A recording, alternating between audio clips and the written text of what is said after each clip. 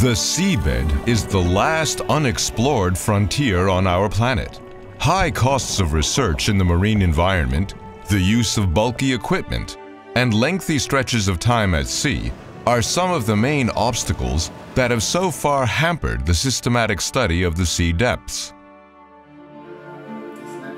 To overcome some of the problems encountered in seabed mapping, sea floor characterization, and underwater seismic exploration, the three-year WiMUST project was launched in February 2015.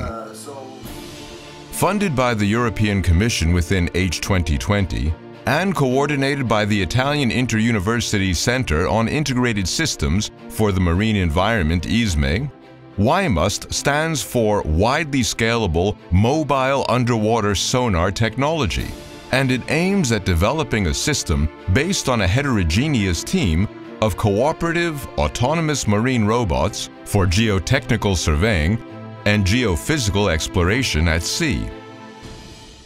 The project plans to use two different types of vehicles optimized for the occasion, the Folaga and the Medusa.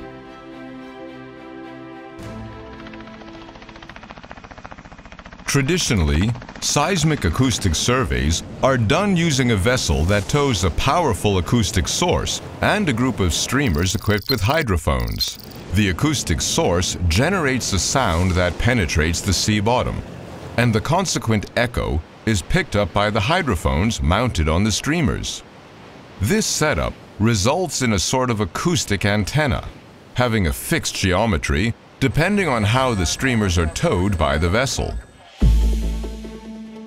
The idea behind the WIMUST project is to decouple the source and the streamers, mounting the latter on autonomous underwater vehicles, AUVs.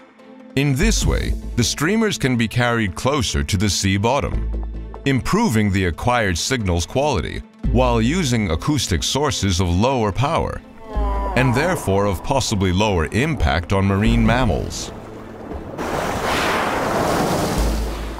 Changing the formation of the robots makes it possible to change the shape of the acoustic antenna.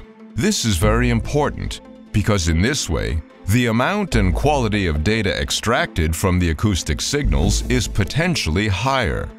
Furthermore, the lack of physical ties between the surface vessel and the acquisition equipment may greatly facilitate operations at sea, with consequent savings of mission time and operative costs.